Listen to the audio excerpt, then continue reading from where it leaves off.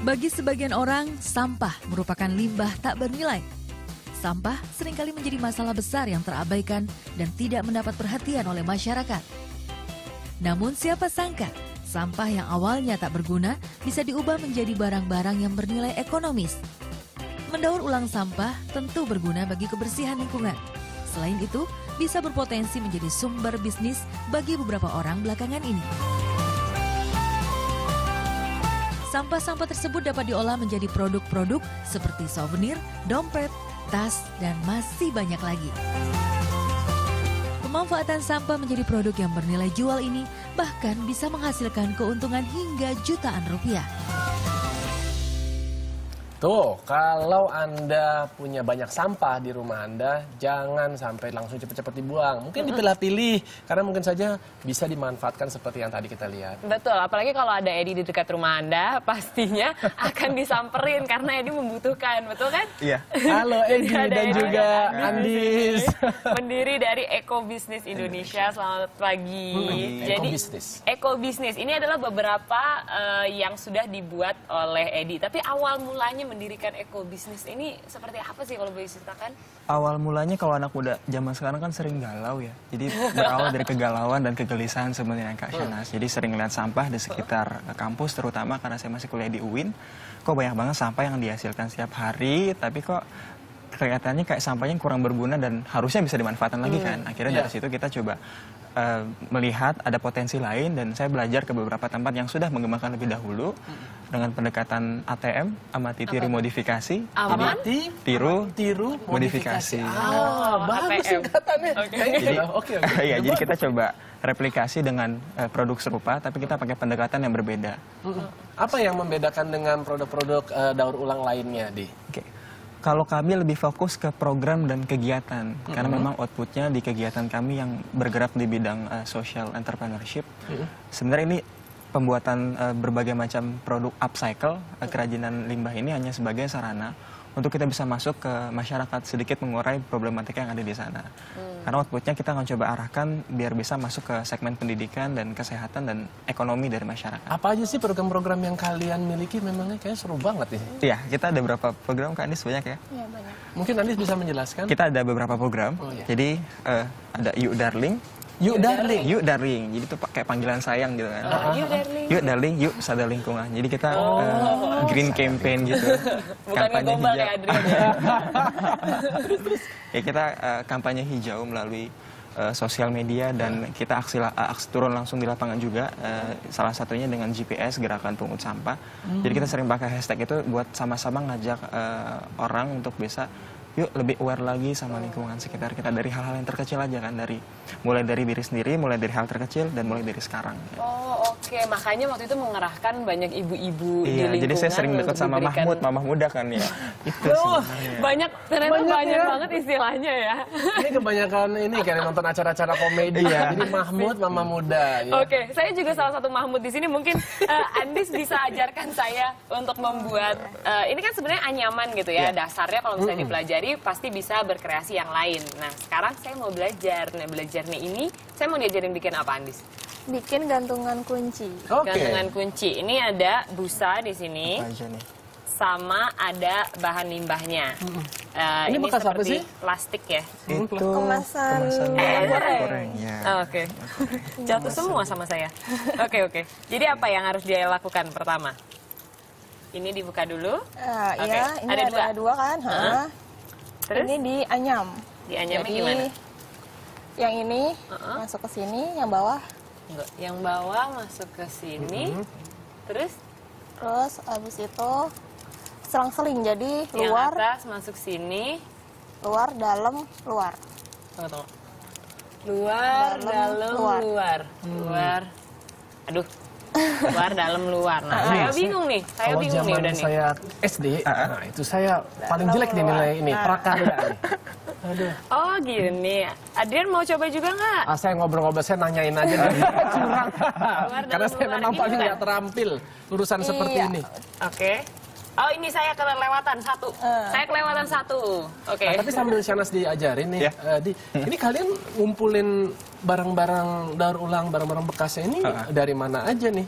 Kalau selain dari sekitar artinya kan kalian namanya udah masuk bisnis perlu yang Terus lanjut ke yang nomor massal dua. sekali. Oke, kapasitas besar ya. Iya. Sini ya. Em, Jadi memang kita sebisa mungkin eh, Karena ini udah di luar. mendapat bahan baku berupa sampah ini kita ambil dari tangan pertama. Jadi Hmm. Mas Adrian biar dari segi kualitas sampahnya juga nggak terlalu kotor kan. Oh Kadang iya, kalau udah benar-benar. banyak dibuang kita harus pilah lagi, terus kita bersihkan lagi, kasih desinfek- desinfektan dan lain-lain. Hmm. Itu eh, makan proses yang lama dan costnya jadi tinggi juga. Iya, nah iya. untuk mengantisipasi dan memberikan edukasi lagi-lagi. Jadi kita ke pedagang-pedagang di sekitar kampus, terus ke warung-warung makan, dan ke rumah-rumah tangga. Jadi setelah mereka biaya kon- eh, biasa mengkonsumsi produk-produk seharian kan pasti menghasilkan sampah. Iya. Nah, mereka memilahnya mana yang organik, mana yang on- mana yang tidak organik, dan kita mengambil yang tidak organik. Ya. Dan kalian dapatkan itu secara gratis saja ya. Iya, secara gratis. Dan beberapa juga kami pernah eh, dan sempat nih saat ini masih proses mediasi. Salah satu company menawarkan untuk eh, mengelola eh, sampah reject dari mereka dengan kapasitas yang besar juga. Sudah berapa banyak sih anggota kalian nih Eko Bisnis Eko Indonesia? Bisnis Indonesia. Kita kami tim inti ada lima orang, saya dan Kak Andis dan ada beberapa orang yang lain. Ada Ibu Eli, jadi sebagai warga yang eh, kita libatkan langsung. Lalu ada Alfi, ada Nadia, ada satu lagi Imas yang yang mereka sama-sama di tim inti kita untuk coba mengajak lebih banyak volunteer juga. Jadi kita juga melibatkan volunteer. Sekarang ada sekitar 30-an. Wow, nah sekarang bicara mengenai bisnisnya nih. Ya. Ya, Mas Adrian kan seneng nih kalau yang berbau bisnis. Itu dalam sebulan bisa berapa sih omsetnya kalian? Oke, sebenarnya omset fluktuatif dan pernah yang di bulan Agustus kemarin kita paling besar dapat 14 ya, juta yang tadi disampaikan ke Ashanas. Tapi secara omset per bulan itu sekitar 3 sampai 5 dengan kita pendekatannya selain eh, produk yang kita tawarkan, kita juga memberikan green edutainment. Jadi jasa eh, edukasi hijau dan workshop pelatihan tutorial sampah dan kita selingi juga ada namanya green eh, green magic jadi kita pakai sulap sebagai media biasa ke anak-anak kan jadi kan kita edukasi dari mulai usia belia sampai usia beliau kan jadi yang, yang anak usia belia ini Usia beliau siapa Ya. ini? ya.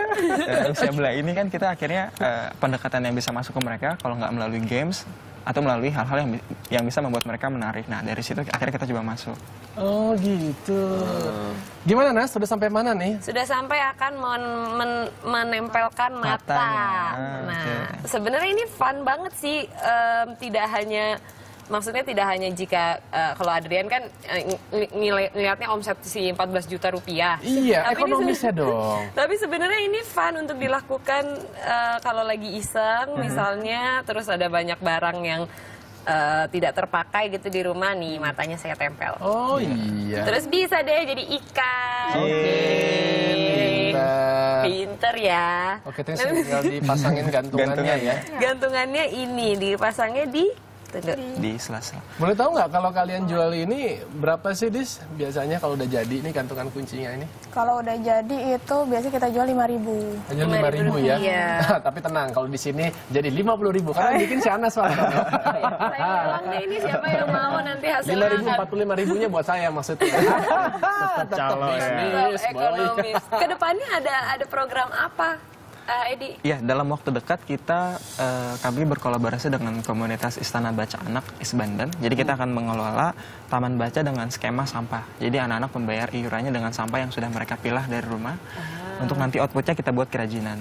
Iurannya dengan sampah. Iya, betul iurannya dari Keren sampah. idenya. Iuran Dan sampah. iuran sampah betul. Dan di sana nanti eh, kita akan launching tanggal 22 November. Dan kita juga sekaligus aku sharing boleh ya. Kita juga membuka donasi bagi teman-teman yang ingin menyumbangkan eh, jendela dunianya, buku-bukunya atau mungkin peralatan yang masih berkaitan dengan pendidikan. Silakan feel free bisa eh, komunikasi ke kita eh, melalui website bisa www.ebback.com dan kita juga menjaring donasi kita jual gelang Education for Nation eh, membeli gelang sekaligus bercharity Eh, nanti bisa eh, masuknya ke website juga untuk informasi lebih lanjutnya. Wah, ini keren banget. Emang kalau anak-anak muda tuh ya, sampai kita melakukan banyak kegiatan-kegiatan sosial aja juga harus kreatif. Nggak hanya sekedar begini, meminta. Tapi mereka membuat produk, kemas, kemudian kita bisa eh, jual. Anda bisa berpartisipasi, Anda mendapatkan produk gitu kan. Tapi Anda juga sekaligus juga bisa beramal atau juga tadi mungkin bisa menyumbangkan ada buku-buku yang masih related dengan pendidikan yang Anda bisa mungkin berikan yang saat ini di rumah mungkin sering kali hanya ada di perpustakaan kita nggak pernah dibaca udah bertahun-tahun ya kan. Betul. Pokoknya menguntungkan sesuatu yang bisa didapatkan dari lingkungan sekitar. Kalau saya sih coba menguntungkan ini nanti kalau saya lelang ya begitu. ini hasil bikinan saya. Nanti akan saya berikan donasi.